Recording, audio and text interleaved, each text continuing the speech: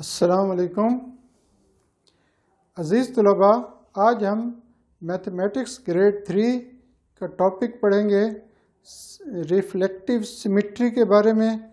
तो हम, हमारा रोज़मर्रा ज़िंदगी में मुख्तलिफ़ मुख्तलिफ़ अशिया की पिक्चर्स यानी उनकी शक्लों से वास्ता पड़ता है।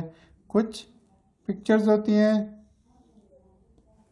रेक्टेंगल कुछ होती हैं स्केयर फॉर्म की, कुछ होती हैं सर्कल फॉर्म की, इसी तरह कुछ ट्रायंगल फॉर्म्स की होती हैं। इस तरह मुख्तलिफ़ चीज़ें हैं जो मुख्तलिफ़ फल हैं और अल्फ़ाबेट्स हैं, जैसे ए एक अल्फ़ाबेट है। तो अब हम देखते हैं कि इनमें सिमिट्री से क्या मुराद है। तो हम कहते many things around us are symmetrical हमारे इर्द गिर्द बेशुमार चीज़ें ऐसी हैं जो सिमेट्रिकल फॉर्म में होती हैं। मतलब है, अगर उनके दरमियान में एक लाइन लगाएँ या दरमियान से फोल्ड करें और आधी साइड को इसके ऊपर ले आएँ ओवरलैप करें तो वो पूरी आ जाएगी। उधर से, चारों साइड से कोई चीज़ इधर उधर बचेगी नहीं। तो इस लाइन को कहते हैं, कोई भी जोमेट्रिकल फिगर जिसको दो हिस्सों में, बराबर हिस्सों में तकसीम करें, उसको कहते हैं line of symmetry line of symmetry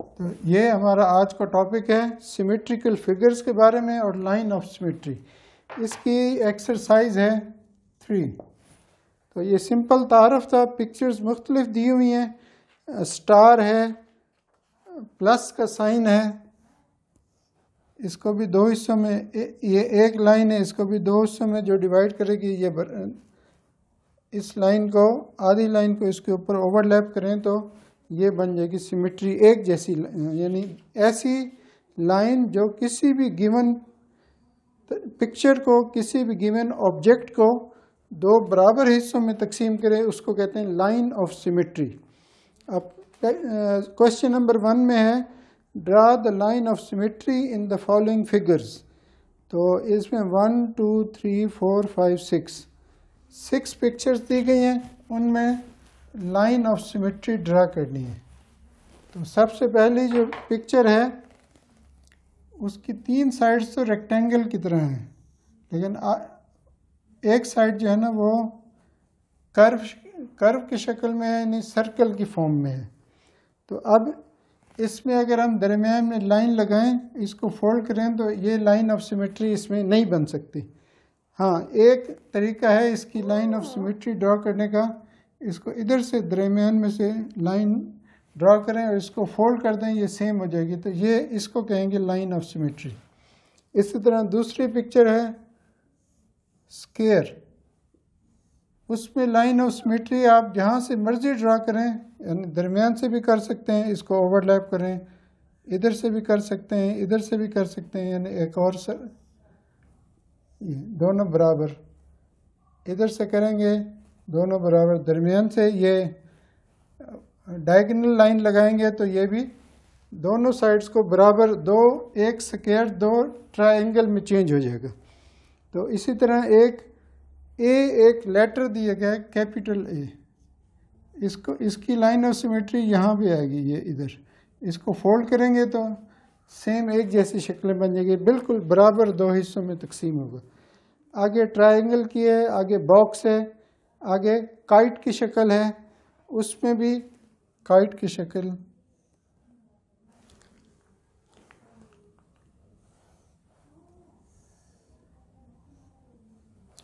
इसको भी लाइन ऑफ़ सिमेट्री ड्रा करेंगे, दोनों बराबर, दोनों, एक पिक्चर दो बराबर हिस्सों में तकसीम हो जाएगी।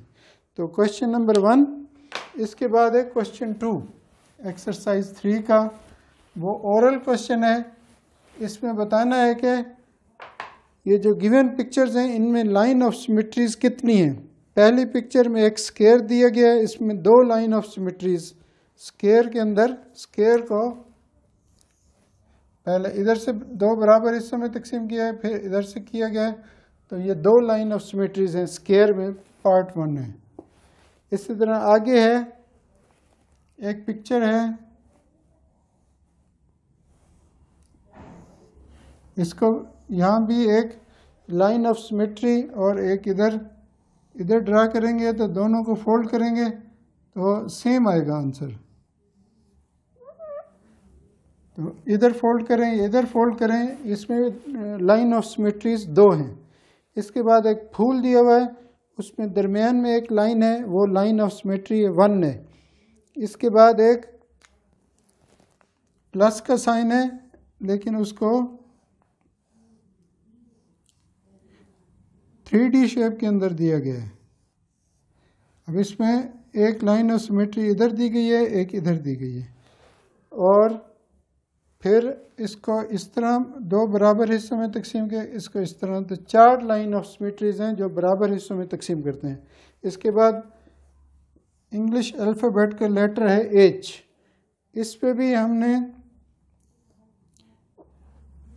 दो लाइन ऑफ़ सिमेट्रीज ड्रा की हुई हैं। पहले इसको पूरा लिखते हैं। तो एक लाइन ऑफ़ सिमेट्री इधर है, एक इधर है। दोनों इसको फोल्ड ऐसे करेंगे, इस तरह फोल्ड करेंगे, एक हिसाब है। आप कोई भी पेपर लेके, कोई भी पेपर लेके उसको फोल्ड करें तो जो, जहाँ से वो फोल्ड हो रहा है, वो लाइन ऑफ़ सिमेट्री होगी। इसके बाद एक पिक्चर है पेंटागन उसकी फाइव साइड्स हैं। उसमें लाइन ऑफ़ सिमेट्रीज बनाई गई हैं। वो हैं जी तकरीबन तमाम लाइन ऑफ़ सिमेट्रीज इसको बराबर हिस्सों में एक, दो, इसकी तकरीबन चार हैं लाइन ऑफ़ सिमेट्रीज इस पिक्चर में पेंटागन में। पेंटागन जिसकी फाइव साइड्स हो।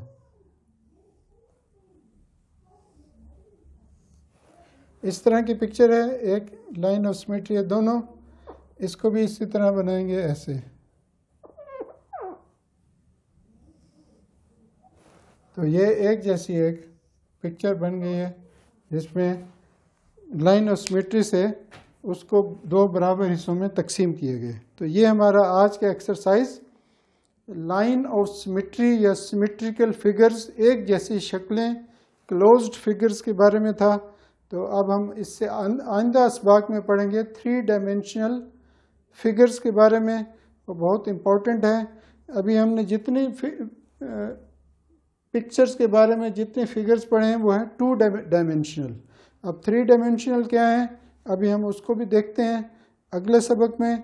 तो इन इसबाक की प्रैक्टिस करें लाइक शेयर करें वीडियोस को और चैनल को सब्सक्राइब करें। अस्सलाम वालेकुम